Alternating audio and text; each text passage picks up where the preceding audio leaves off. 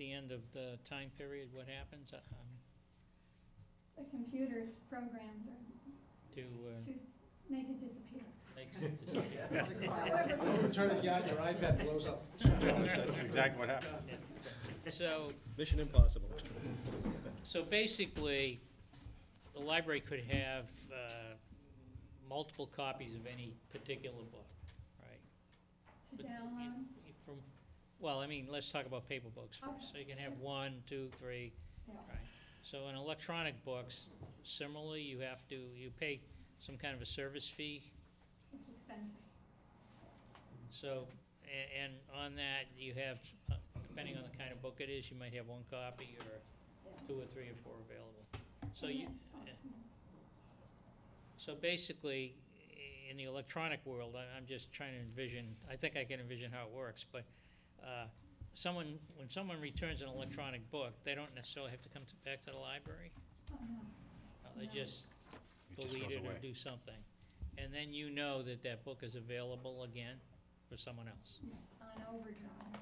Okay. Um, So And you there's have an application that deals with that. a very long waiting list, too. Mhm. Chris, Michael? So that's a fee for service? So as people pay the library a fee to, to download the book?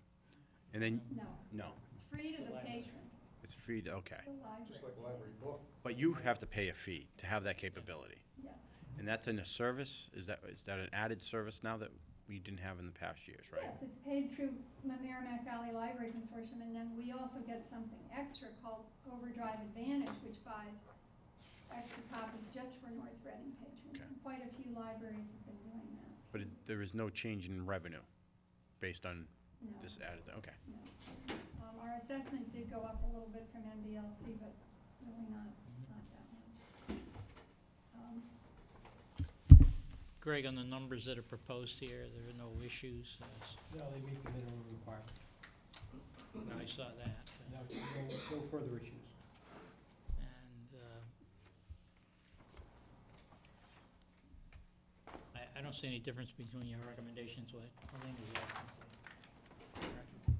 No, no, nothing of substance. You did mention something, and I, I don't remember exactly where it was in your presentation now, Helena, that you said you might need more funds for. uh, I believe it was a, If ref- you hit the fifteen Hit the thousand Oh, threshold, the population, Just the population. No, there was some other program I think you were talking about. Uh, Mrs. Bailey? Yeah, I think what Helena mentioned is um, things like Wowbrary, which is the online catalog, online announcement of what's new at the library. The Friends are funding it this year, it's five hundred yeah, dollars a year, if it's something that really is, the community is really receptive to and a lot of people sign up for. Mhm. We might seek in the future to have that be part of the budget. Okay.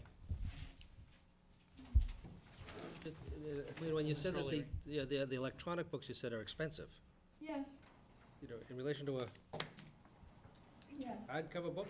Yes, well, there, there is, they don't have the same, they don't have discount, it's what hardcover book. I don't know if you're doing any reading about any of this, but there's a lot of controversy because of the publishers are not really crazy about this whole model. So, right now, they're expensive, but it's really the beginning of the downloadable book, uh, world, and, um, there's going to be other competitors coming in. Right now, Overdrive basic, really more or less has a monopoly.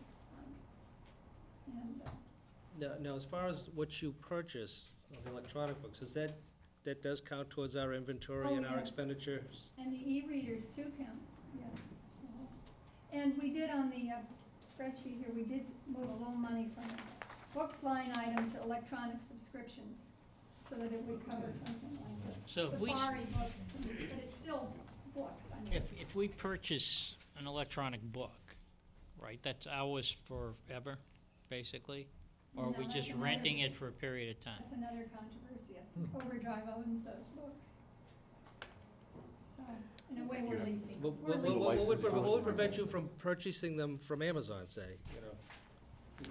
When you go to, you buy a Kindle or something, I mean, you can purchase the, Yeah, the but- books online for, Yeah, but that's designed, Steve, to go to a specific user or user account.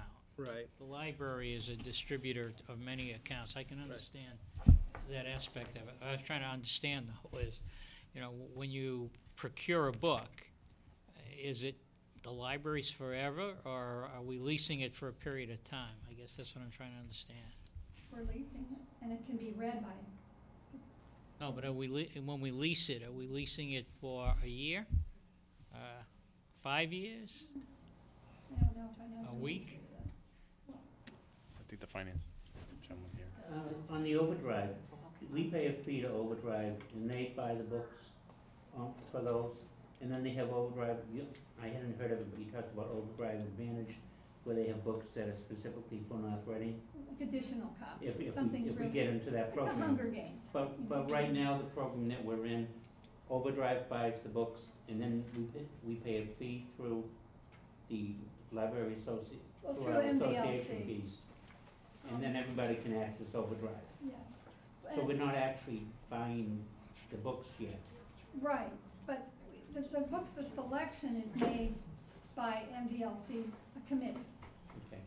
And it's, it's pretty well driven by the popular. You can pretty much know what's going to done. So if fifty people walked into the library and wanted a single book through Overdrive, those fifty people could get it all at once? Or is there a limit to Most the of them, number? no, not the really popular ones, they'd have to wait, but there might be ten copies, and there'd be a smaller wait. And there's some where you have unlimited users, they're not the new, really popular ones, like classics. Mr. Chairman, Mrs. Sheehan seeking recognition. I, recognition. I tend to use Yes. this a lot commuting back and forth to work. Um, and it's very hard to get a book because you have to actually gonna go on a waiting list for it, and then you get an email at home that tells you when you can download it. I see. And it's, it's very popular. Pretty much every book on there, there's a waiting list for. Every book.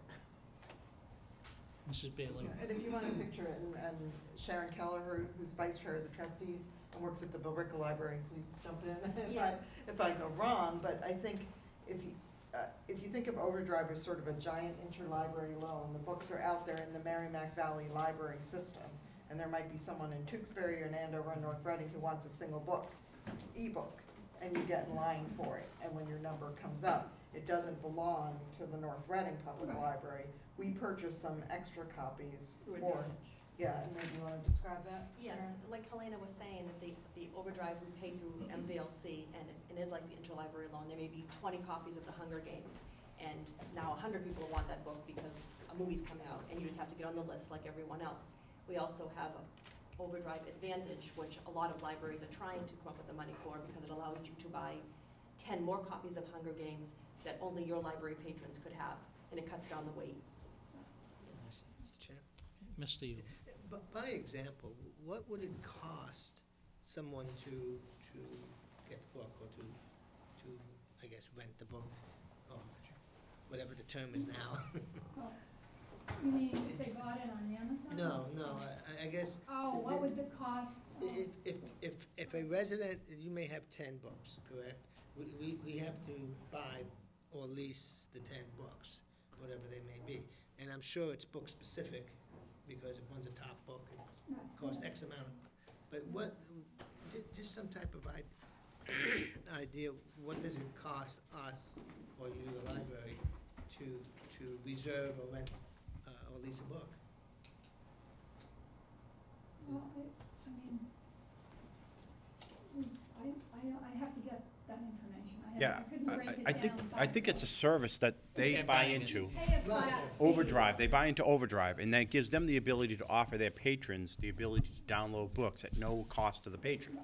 So it's buying the whole service versus They they acquire the service, perceiving that a little bit yeah, which is nice because it actually extends your open hours really realistically to twenty-four hours a day, right? Right. And then beyond that, the Boston Public Library has the same, everybody's entitled to a BPL card. You have even a larger collection. And if you like, I can send you an email to Overdrive and you can that would be take a great. look at it. I'd like that. Now, the- All right, I'd like to, uh, Yeah, just- I- just- Just, just what's the additional cost for the overdrive? And- And it- is the overdrive, um, is it just, that's the specific program and either you bought it or you didn't? Or is it specific to different books or different genre or, you know? Well, MVLC, it's part of our assessment, which is based on a formula, on circulation, on population, and, and then often they will ask us to put in some extra money for more ebooks. All right, so the twenty-five thousand dollars basically for the assessment is, It You- includes, that, that includes the overdrive. It's a virtual branch, that's all it is. Any other questions regarding the budget numbers? No, I don't have any.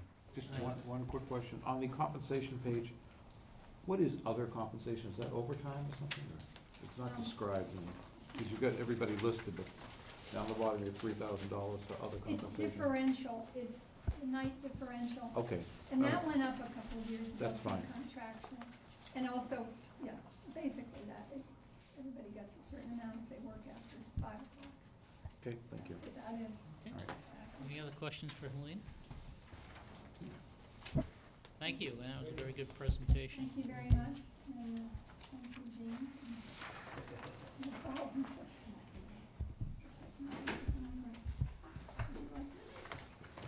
know you have.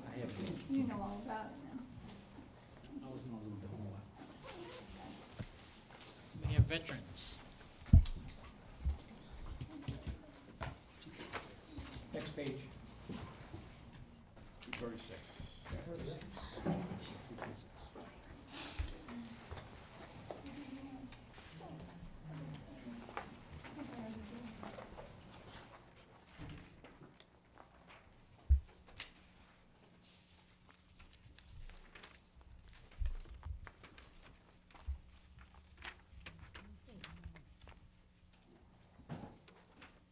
How you doing?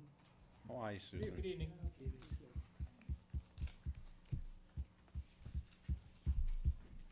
We start. It's all you. First two line items um, I have on my, we have for a change on, on the veterans um, budget is for line item five, three, four, one, zero for the postage.